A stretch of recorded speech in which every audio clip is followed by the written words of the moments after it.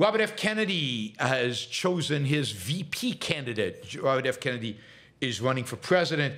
He's having a really hard time registering in all the different states, uh, registering uh, as an independent in all the states. A lot of states make it very, very difficult uh, to register. The Democratic Party, which is convinced uh, RFK will draw more votes from the Democrats than he will from Republicans, is worried about him swaying the election to Trump and is making it very, very difficult for him to register as an independent in all these other states. Uh, Robert F. Kennedy is still trying uh, to potentially be uh, the libertarian candidate uh, for president. It will be really funny if he succeeds in doing that. It will completely empty the concept of libertarian uh, from any meaning, particularly given his VP uh, choice.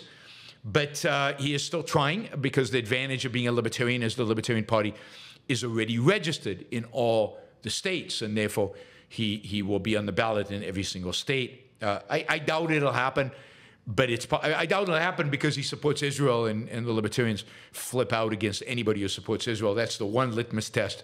You can be a socialist and run uh, as a libertarian, but you can't be you can't be pro-Israel and run as a libertarian. That is the ultimate test for that wacky, crazy, insane political party. Uh, anyway, uh, RFK chose as his um, uh, as his uh, running mate, uh, as his uh, vice presidential candidate uh, Nicole Shanahan. Nicole Shanahan is a um, uh, patent lawyer. She grew up in a low income household. She has been very, very successful. She, among other things, married one of the founders of Google. And when she got divorced, I think she got a lot of money, a lot of money. So since then, she has been a a philanthropist. Uh, she has been a venture capitalist. She has uh, invested in a lot of companies.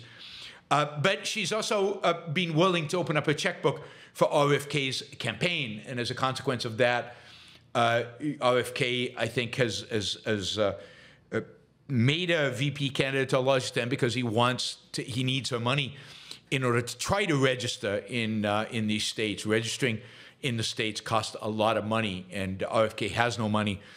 Uh, so he is uh, he has brought in a deep pocket to run uh, with him. I, I, I, hard for me to say on how many issues she actually agrees with RFK. Hard to tell. Uh, supposedly she's pro-vaccine, but she's also said some anti-vaccine things as well. So it's hard to tell. But what we do know is that she is, uh, and here she it is consistent with RFK. She's a rabid environmentalist. Uh, she is a real progressive, a real leftist.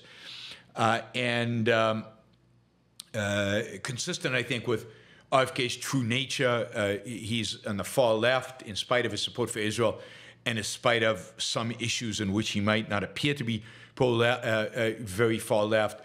I don't think RFK might take a few votes from the, from uh, Donald Trump, the, some of the conspiracy theory stuff, but I think he mainly appeals to the far left um, uh, in his because of his environmentalist record and and uh, his generally his socialist views on on so many things.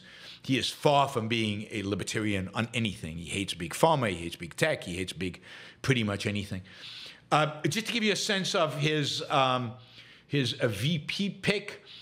Um, uh, you know, uh, uh, she she um, uh, has mentioned when it was announced that she was going to be the VP pick how, uh, Im- uh, how important it was for her and how thankful she was that RFK uh, took her up on her niche political interests. Uh, those include uh, toxic chemicals in the soil. Uh, she's produced two films around toxic chemicals in the soil.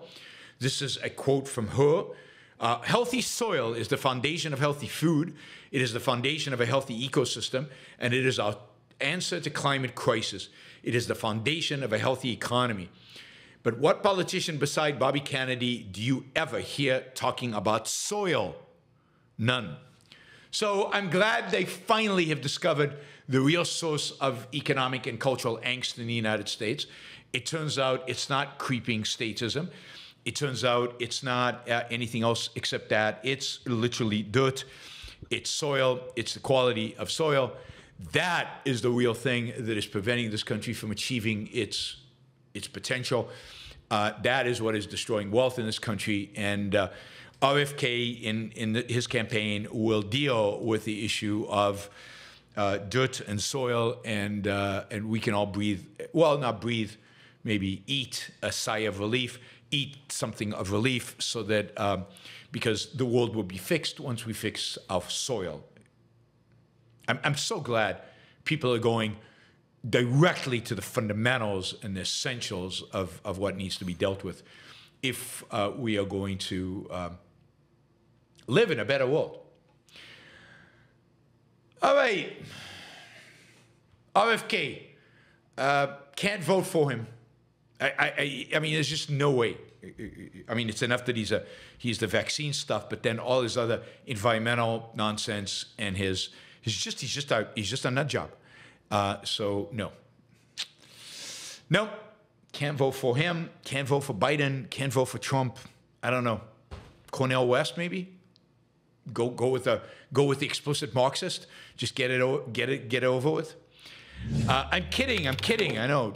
You know the the, the headlines are going to be striking.